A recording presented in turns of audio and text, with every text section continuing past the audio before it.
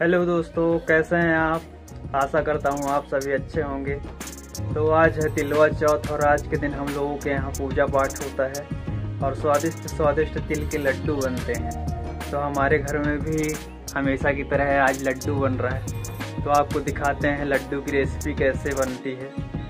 तो चलिए शुरू करते हैं। तो दोस्तों, हमारे गाँव में ऐसा माना जाता है कि चूल्हे में बनी हुई चीज़ ज़्यादा टेस्टी और स्वादिष्ट होता है। तो बड़ी मम्मी चूल्हा जला के तिल को भूंजना स्टार्ट कर दी हैं और इसको कंटिन्यू चलाना पड़ता है जब तक कि इसमें से खुशबू नहीं आने लग जाती।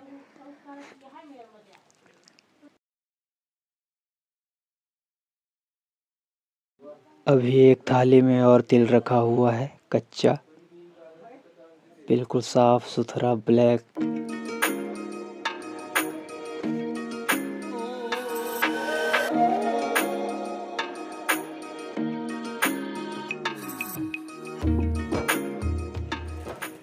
तो अभी हो गया है भूंज के तैयार और इसको अब खाली कर लेते हैं एक थाली में।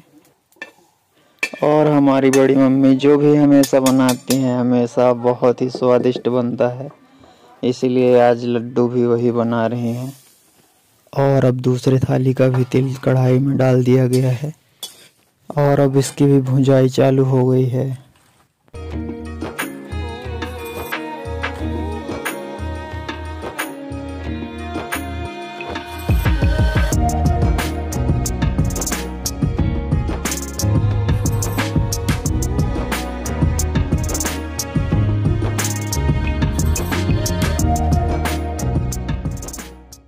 और अब ये भी भूंज के तैयार हो गया है और कढ़ाई खाली कर ले रहे हैं।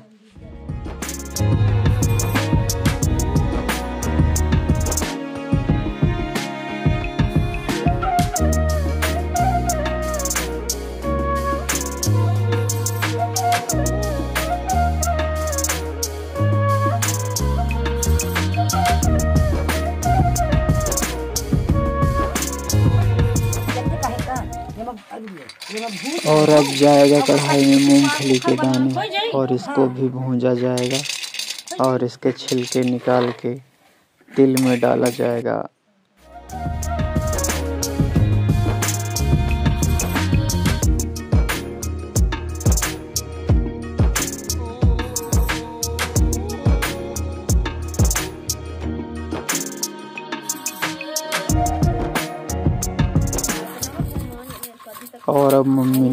घिस रही है, क्योंकि इसको डालने से इसका स्वाद और ज़्यादा बढ़ जाएगा। बहुत सारी चीज़ें डलती हैं लड्डू में। आप देखते जाइए, वीडियो बिल्कुल भी इसकी मत करिएगा, कंटिन्यू बने रहिएगा।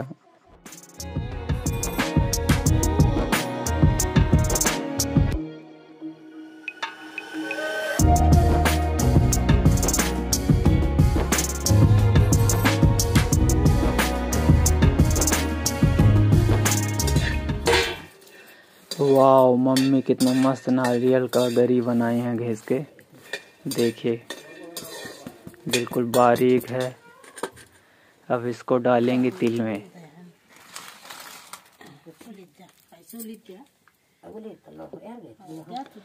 और अब हमारे मूंगफली के दाने भी तैयार हो गए हैं भूंज के।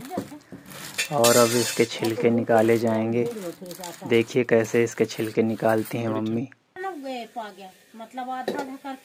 और इधर बड़ी मम्मी कढ़ाई में गुड़ डाल के चाशनी बनाने की तैयारी करना चालू कर दी हैं।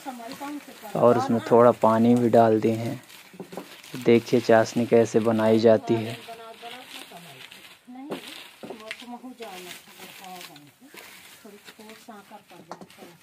और मम्मी इधर मूंगफली के छिलके निकाल रही हैं। ये देखिए।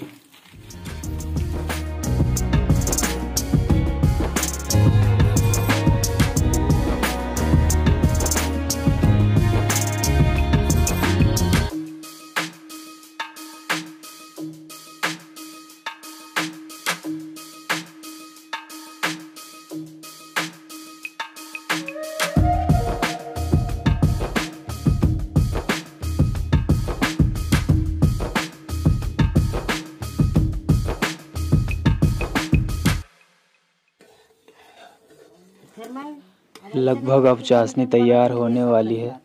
कुछ मिनट और लगेंगे। वीडियो बिल्कुल स्किप मत करिएगा, बने रहिएगा। आगे चलते हैं।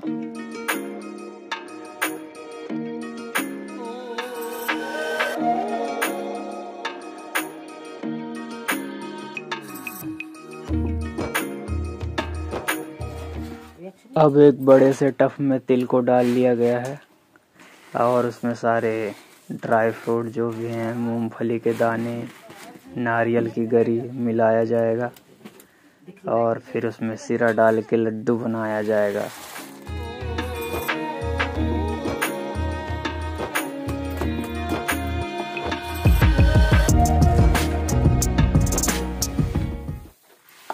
सबसे पहले इन सबको मिक्स करके फिर उसके ऊपर चाशनी डाल के फिर लड्डू बनाने का प्रोसेस चालू करना पड़ेगा।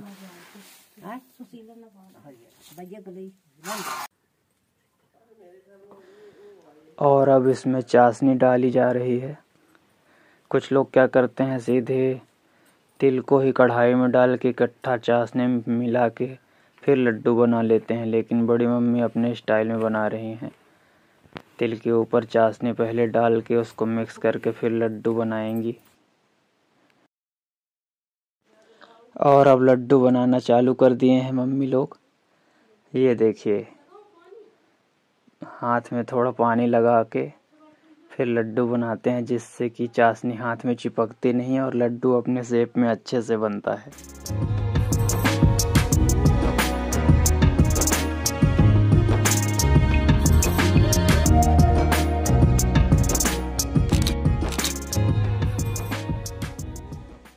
तिली के लड्डू बनने के बाद अब बड़ी मम्मी कसार का लड्डू बना रही हैं। शायद पता होगा कुछ लोगों को, कसार का लड्डू पता नहीं कौन कौन से आटे मिला के बनाया जाता है। अब उसकी तैयारी बड़ी मम्मी कर रही हैं। थोड़ा बैकग्राउंड ख़राब दिख रहा है क्योंकि इस समय घर में जगह नहीं है, जब से घर बन रहा है। तो चूल्हा ऐसे जगह में है कि सब सामान पड़ा हुआ है आइट साइड में। तो उसको इग्नोर करिएगा। अब ये भी अच्छी तरह से भूज गया है और इसको निकाल लेते हैं टफ में।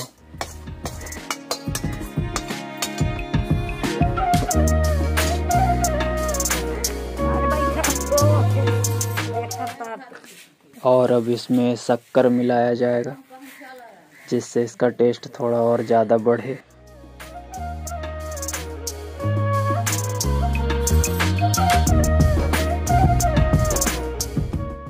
और अब इसमें ड्राई फ्रूट, काजू बादाम भी डाल देंगे।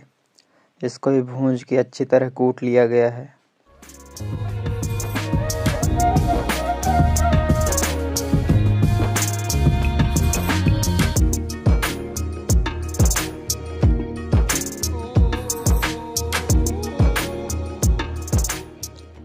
इसमें सारे ड्राई फ्रूट्स मिक्स करके चाशनी भी डाल दिया गया है। और अब बनेगा इसका लड्डू।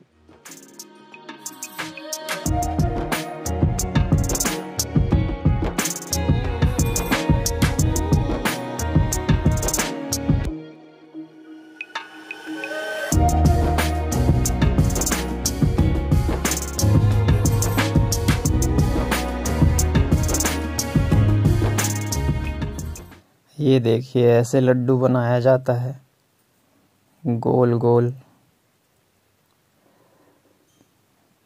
कितना मस्त दिख रहा है। ये देखिए।